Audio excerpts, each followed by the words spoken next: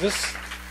Hey everybody, how are you today? I feel really weird wearing a headpiece like this. Like I'm supposed to sing and dance or uh, do magic tricks or something. So, so this this talk, uh, this is a new talk, uh, one I've never done before. So, uh, like uh, most WordCamp talks, when you get up here. Uh, so, is your content helping or hurting you? So, I want to go through just a whole bunch of points, and I guess kind of the subtitle of this talk that I came up with the other night is, you know, the good, the bad, the ugly, and the superb. So I want to uh, just kind of go through all this stuff. But but first off, you know, thanks everyone for being here. Today's a beautiful day in San Diego. You could be anywhere else, on the beach or something like that, and you chose to be here. And uh, thanks to all the other speakers, the organizers, the volunteers, everyone who makes WordCamp possible and as great as it is. And uh, I've been to WordCamp San Diego a couple times before, but this is my first time speaking here as a San Diego resident. So I chose to wear the Padres hat today just to commemorate that. Although I did grow up in New York and I'm a Yankees fan, and uh, my grandfather would probably kill me right now. But, any, but anyway, so who am I? my name is Greg Taylor, and I run a marketing, a WordPress development and marketing firm called Marketing Press. We have a couple offices: San Diego, Tempe, Arizona, and New Jersey, right outside of New York City. And my passion is content. You know, I, I kind of I got backdoored into the development game, you know, as a content creator, and I founded a small content agency with another gentleman, and we were launching all these great content strategies on these lousy sites. So it just made sense for us to kind of go into that the, into the development, and that's where Marketing Press was founded. And that was seven years ago. So now, you know, everything has changed, and everything keeps changing. You know, with content. You know, I'm a again, I'm passionate about content. I'm a blogger, a vlogger. I love Blab, I'm a Meerkat, Periscope, all that stuff. Any kind of, you know, photography, music, any kind of content that you can push out there. You know, I absolutely love. And WordPress is just a perfect platform for you to express that and for you to put push that stuff out there. So on social media, uh, I'm GR Taylor too, and that's uh, across the board pretty much anywhere if you ever wanted to find me. so I'm a pretty casual, low key guy. This is a nice WordCamp Sunday. This is actually a huge crowd for WordCamp Sunday. This is fantastic.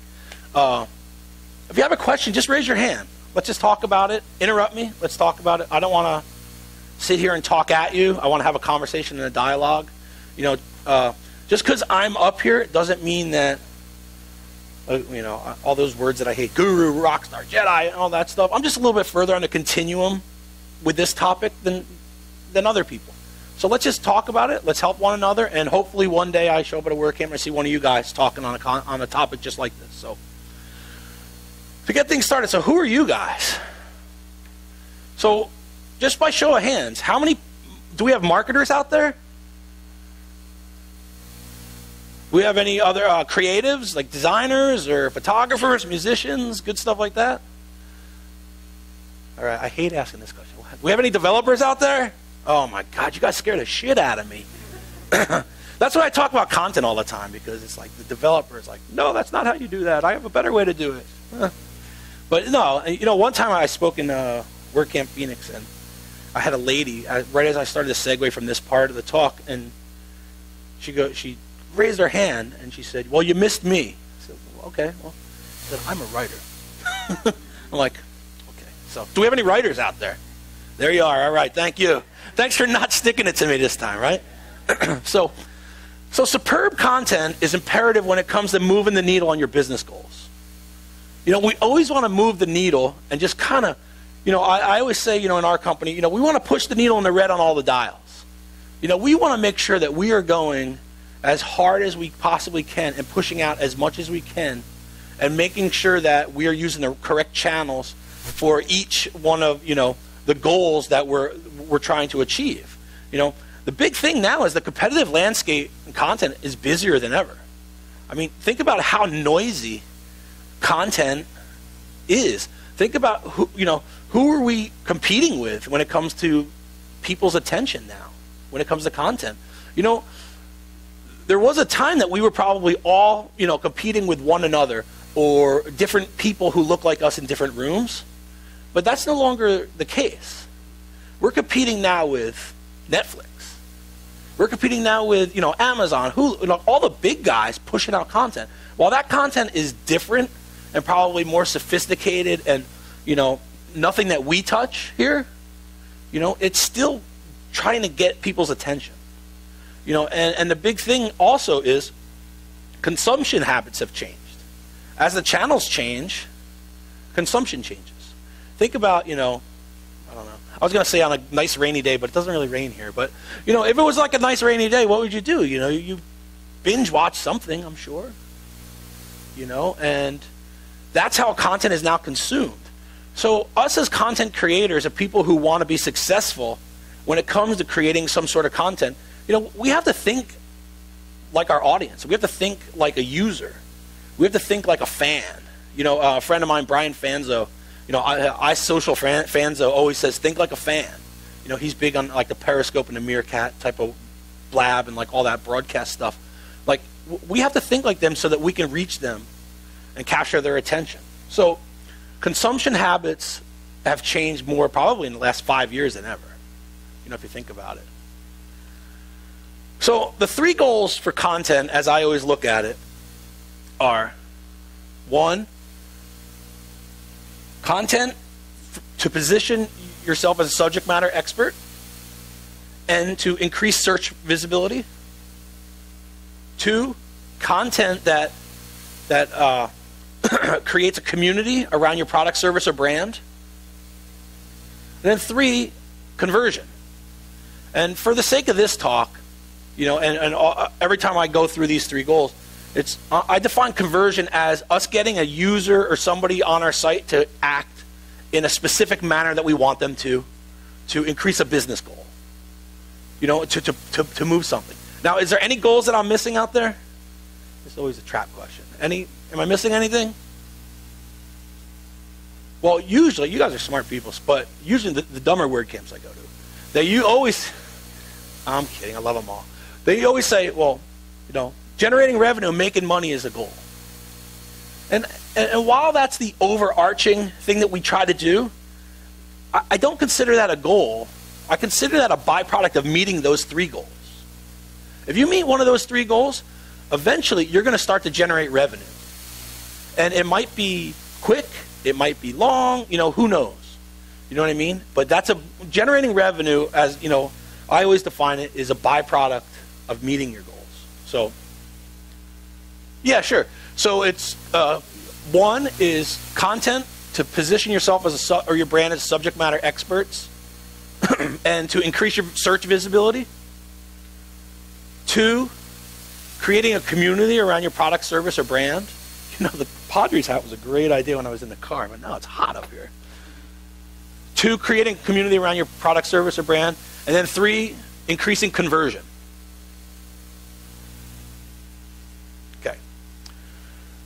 We cool with everything so far? Any? Yeah, question. Love it. Interrupt me. Let's do this.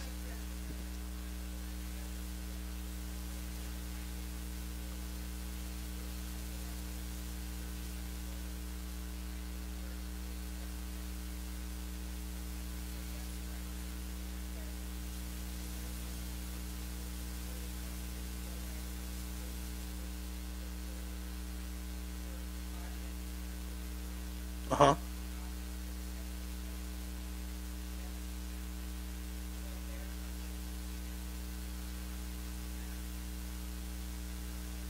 So can we? Do you think that we can make that as like a sub of community?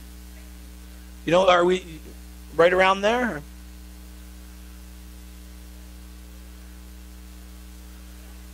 Yeah, that's a that's a great point. And you know, I, I get to it a little bit later about how we educate people nowadays, and you, you know maybe we can elaborate and talk a little bit more about that. And if I don't address it, just let, us talk afterwards because I think that that's an interesting point to actually to discuss. Yep.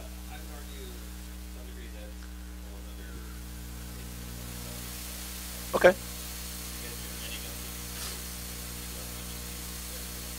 Okay. Okay, that's that's another interesting point. I mean, so now, you, you know what what you were saying. What, what's your name? Liza. What Liza was saying was, you know, education here. You know, and what we're saying is maybe it's community, maybe it's it's positioning, subject matter expert. You know, I'm sure that there's some conversion in there somewhere. They got them to do something. So it's really interesting how that one area is sort of a blend of all three. You know, and uh, this is the first time I've ever actually thought about that. So that's actually thank you for saying that. Was there another hand somewhere? Did I? Anybody else? No. Okay. Hey, if you want to interrupt me, and you just want to talk, I'm cool with that too. I mean, this is just stuff that I thought that you maybe we could, I could give to you. But I mean, if it's not what you want, ask me questions. Let's let me give you what you want. So there, I did see a hand back there. Yep.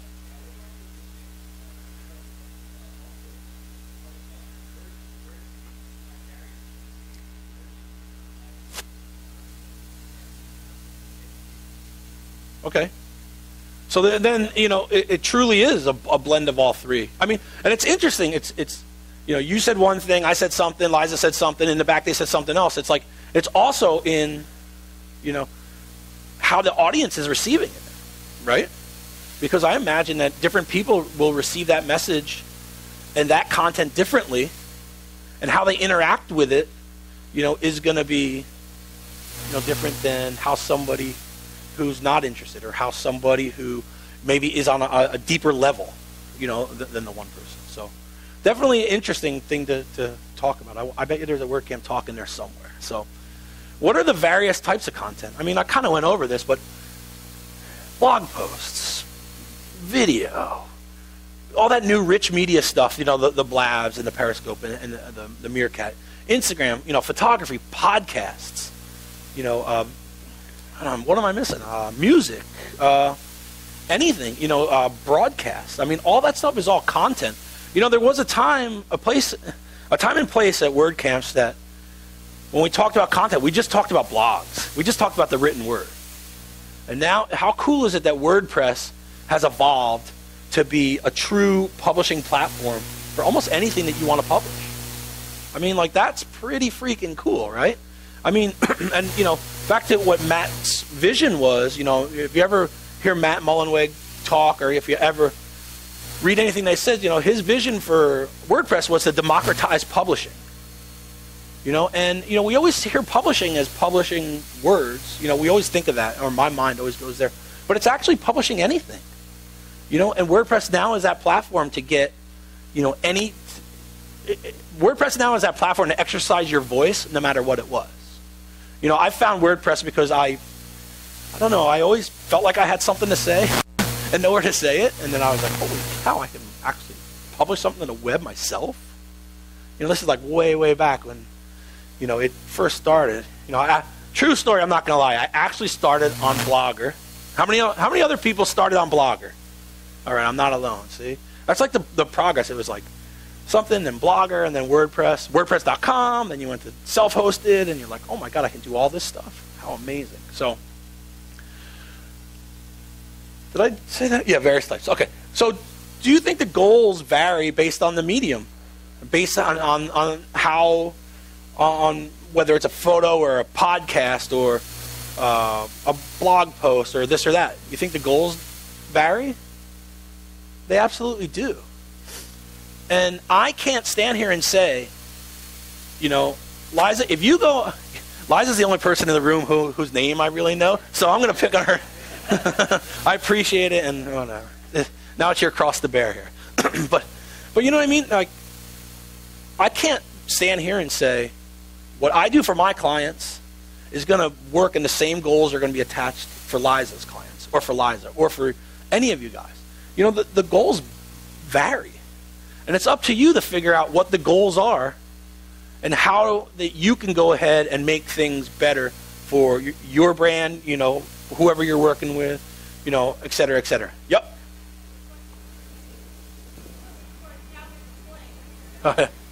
Welcome to Point Loma.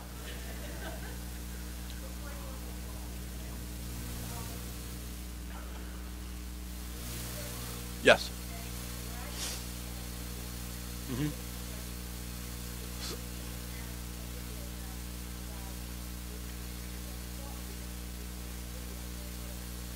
It's the same. I'm, I'm using the same context, pretty much. I'm using it in the same way. I might have used the wrong word. How about that? okay. Yeah, no. I, you're, you're, the way that you're thinking about it is exactly correct. So, all right, just a real quick reality check here. That's a lot. I'm hot and sweating up here. We all together here? I mean, is there any other questions we want to talk about before we kind of go forward with stuff? No? This is actually, you know, out of like the 15 or 20 WordCamps I ever talked about, this is the most questions I ever got in the middle of the presentation. I absolutely love it because, again, it gives me an opportunity to actually address what you want. You know, when you when you speak at WordCamps, you know, there's only so much you can cram in to a short session to get people to go ahead and learn. So it's like I always want to give people something that they can go out and they can make a change to make things better you know, in the hallways or on the way home or wherever. Yeah. Shoot.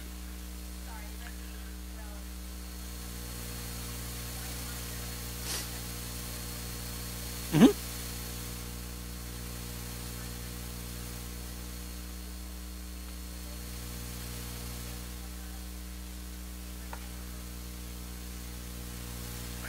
Well, yeah. First of all, you know any musicians and they wrote songs and have them published, ask them to use them. because that's going to be the easiest way to go through. You know, other way, you know, otherwise you do have to get the rights and clearances. And uh, depending on the piece and uh, piece, when, when I say piece, depending on the music, depending on who it is, is going to kind of be your battle right there. So, like, if you want the Rolling Stones to do something for you, well, good luck. And if you do get them to do it, tell me how you did it, and then let's let's all talk about it. But if you know, you, you just have to make sure you have rights and clearances. Uh, a lot of times YouTube will strip that out. You know, if it's posted there. Um, there are sources, uh, Creative Commons type sources where you can get some music. Um, I know iMovie comes with a whole bunch of licensed music. You can buy some rights. But yeah, yeah, uh, it's always err on the side of buying it and not infringing on somebody's copyright because you're going to be really bummed when you get that certified letter or whatever, you know, for whatever, you know, for a 15 second clip. So, okay. So now, the good, the bad, the ugly. I actually got permission from Clint Eastwood to use this because if I didn't, he'd kick my ass. No, I'm kidding. so, let's talk about the good. The good content. And I want you know, good content is not good enough anymore. But good content is, traits of good content is, it's informative.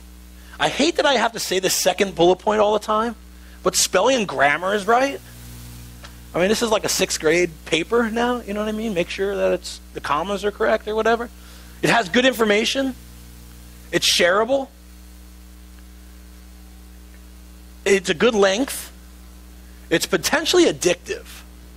Now, I say I'm going to go right back to that one. It connects people to people, and it's delivered with some velocity.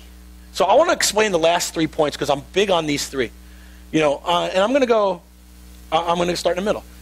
People to people. You know, when I was in college, and you know, when I was first doing whatever, and and are you guys taking photos of the slides and stuff? I, I have this ready to launch on my website with a voiceover that I recorded last night when I was practicing this because just this these words on the slides may not you may lose the message so i actually went through and did that. So i'll post that as soon as we're done. So it used to be two different two types of businesses right? There was business to consumer and business to business right? And that's what everybody tried to do. Are you a b2b marketer? Are you a b2c marketer? Well now none of that matters right? Nobody should ever worry about being a b2c or a b2b we all need to focus on being p2p people to people because what we do is there's people creating content, people behind the brands, and you know, big brands and all brands nowadays are more human than ever, right? You can get somebody from Southwest Airlines to tweet you back, kind of put a, a name and a voice to the brand, you know, to help you with different things. You know, we're all working with people. You have to remember that people are responsible for brands and people are responsible for the buying decision. So that's what we're trying to do when it comes to content. We're trying to connect people to people. Potentially addictive. Anybody listen to the first season of Serial? How addictive was that, right? How, out of the people who raised their hand and did listen to it, or let, us say like House of Cards or whatever, you know, you use your favorite series.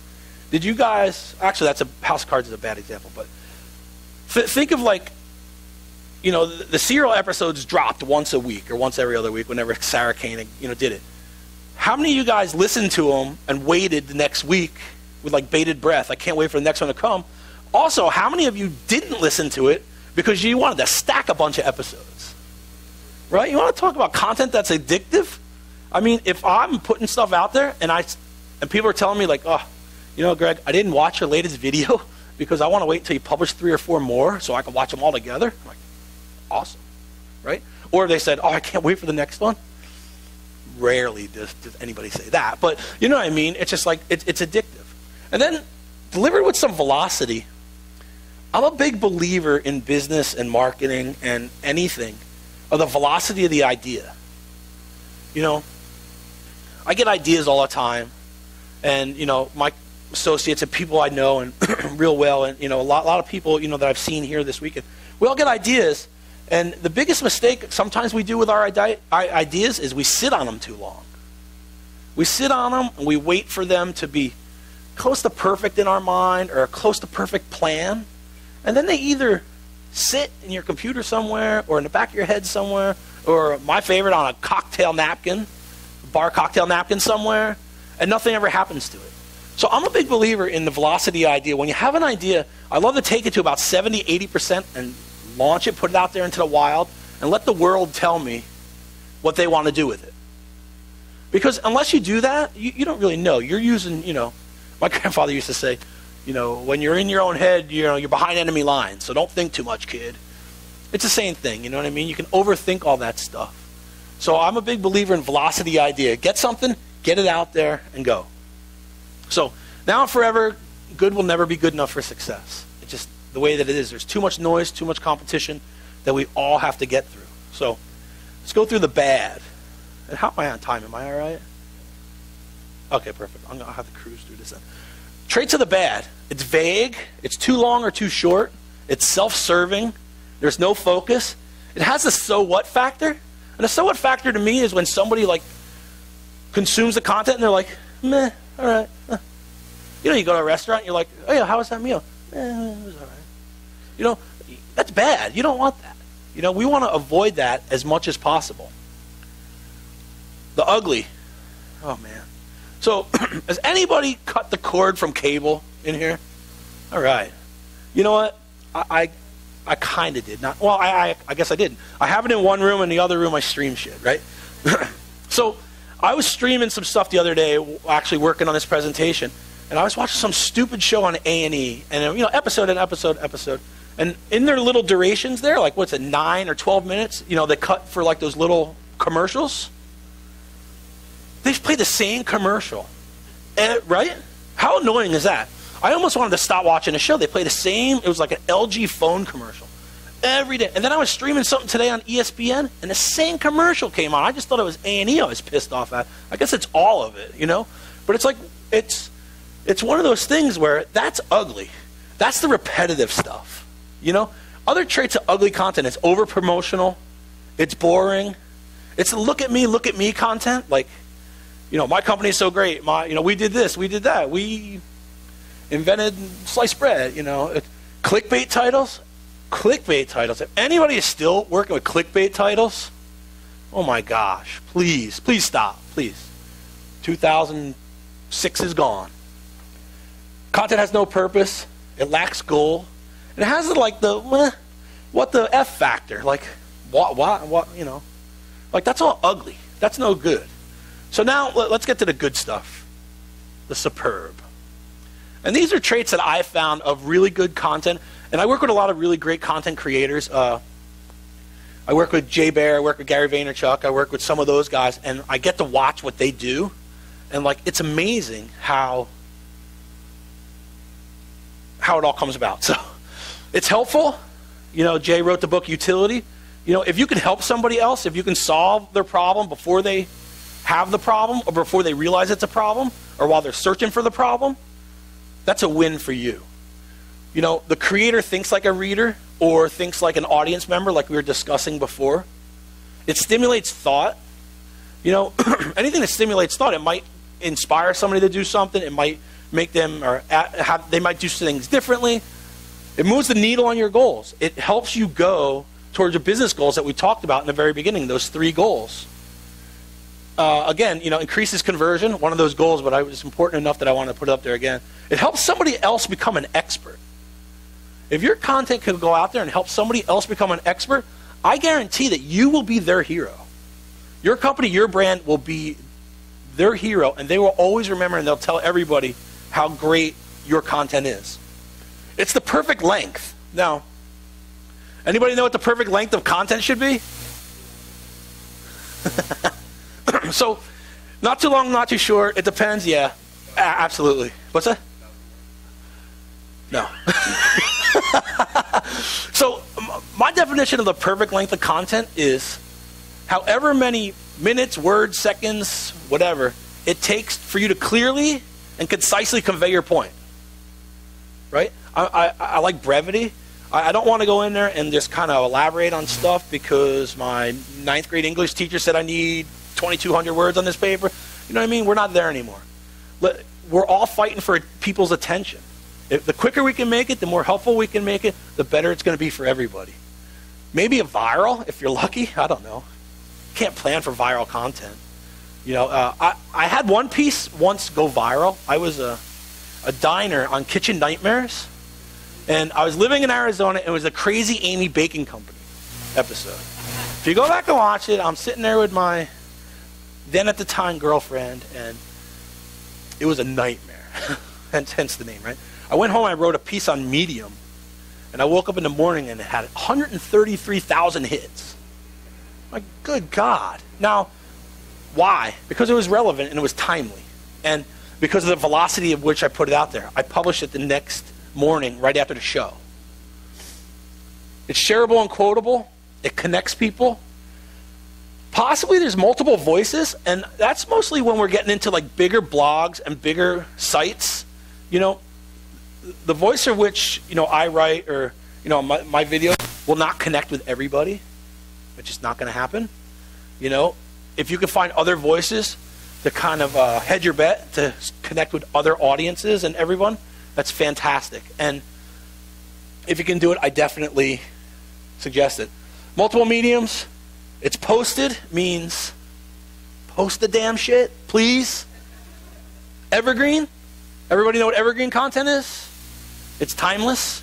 You can read something that was written in 2016, three years from now, and it still has the same value.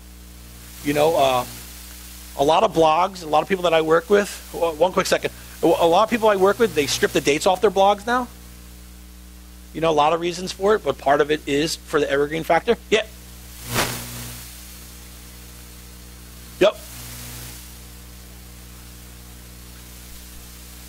Something that you want to go ahead and tell your circle and your sphere of influence about whether it's on social or at the kitchen table or however you want to do that. Your coworkers, your employees, your clients. It's a piece of content that you want to tell somebody about.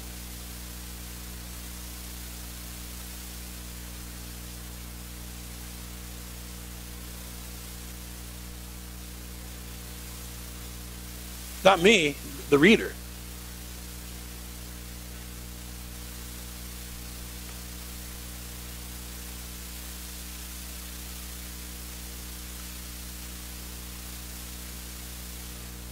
No, it's terrible. I mean, it's it's something that you know you're gonna.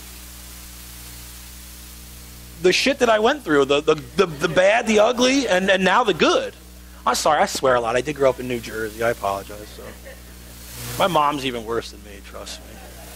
She's a, like a truck driver from the Bronx. Actually, a school teacher from the Bronx. But anyway, but it's it's that beginning stuff. That's not shareable anymore because it's garbage. Right? Only great and suburb nowadays are shareable. So, what's the scariest button in the whole WordPress user interface? Publish. How many times do you guys have things queued up and like, oh, I don't know. You know what? Uh, mm, I don't know. Let me see. You know, nothing happens until you hit publish. You know what I mean? And a lot of times you're going to think your content is superb, and your metrics and analytics are going to say, no, that was just okay. You know, some of the pieces of content that I wrote that are, I created that I was like the most proud of got like zero response. It's like echo. So, yeah, a lot of times. So, uh, we have any questions here? I got like five minutes left. I'd love to answer questions rather than go through more of the stuff that I have planned because you can get that online or whatever. So, you want to just talk about it? Let's.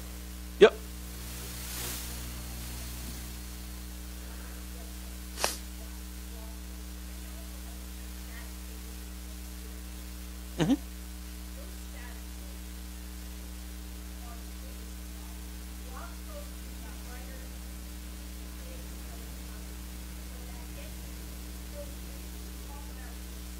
Okay. Yes. So we all have to be. We all have to. We all are our, our own media companies nowadays, right? We all are our own brand storytellers nowadays. You've got to tell a better story. I think that that's the long and short of it. I would concentrate on what story are you, what story are you telling? What story do you want to tell? What story is being received? And within your organization, I, I don't know how big it is, but within your organization, everybody has a different story to tell. My story as the founder of the company is way different than employee one, which is way different than employee five. You know what I mean? And which is way different than the client story. So it's like you have to kind of find what story is going to resonate with people. Yep. Shoot.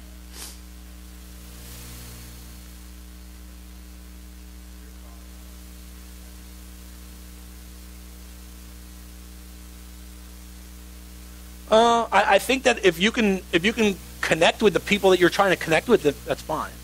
But I just think that somebody like myself, like I can't connect with everybody that I would want to. Now, with that being said, I know that not everybody is an ideal client to work with us. But at the same time, like, you know, maybe you can just, you know, make the pool bigger by using different voices. Especially if like somebody's voice is like, you know, Gary Vaynerchuk's and like really annoying to a lot of people. Right? I mean, it's, it's annoying to a lot of people. It's like a Howard Stern. You love Howard Stern, you hate him. It's like Jim Rome. You love him, you hate him. You know, it's like that type of stuff. So if you can find a different voice to kind of connect with the middle, maybe, give it a go. I mean,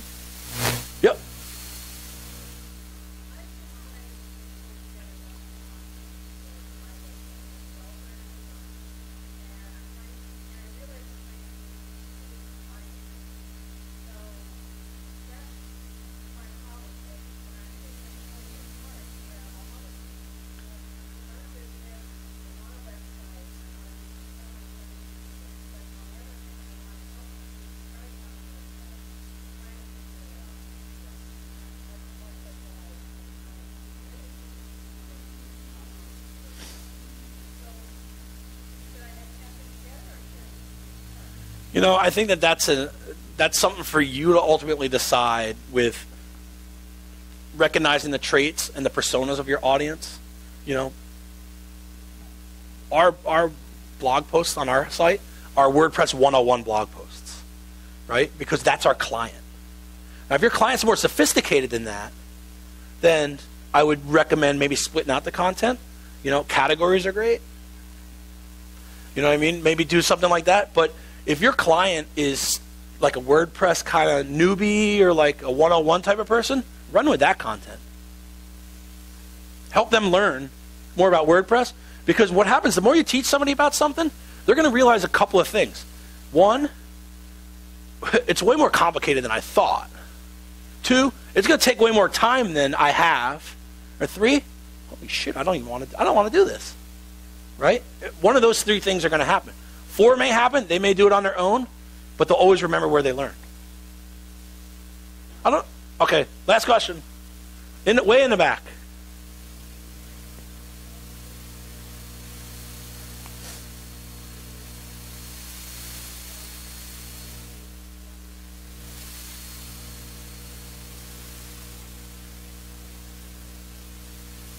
Yeah, absolutely. I'm a big believer in personas.